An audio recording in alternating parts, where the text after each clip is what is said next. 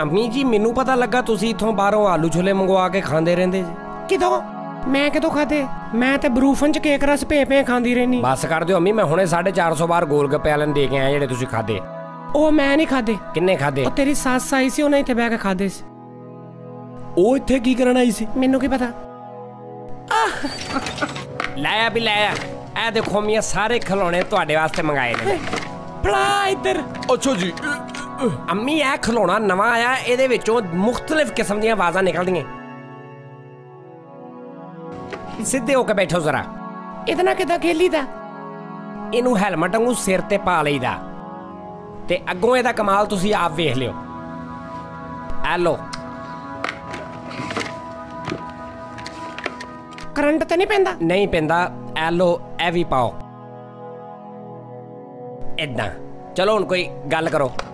ਵੇ ਬੱਤੀਆਂ ਤੇ ਬਾਲੋਂ ਬੱਤੀਆਂ ਕੋ ਬੰਦ ਕਰਤੀਆਂ। ਨਹੀਂ ਅੰਮੀ ਜੀ ਬੱਤੀਆਂ ਚੱਲ ਹੀ ਰਹੀਆਂ ਨੇ। ਹੁਣ ਫੇਰ ਕੋਈ ਗੱਲ ਕਰੋ ਕੋਈ ਵੀ ਲਫ਼ਜ਼ ਬੋਲੋ।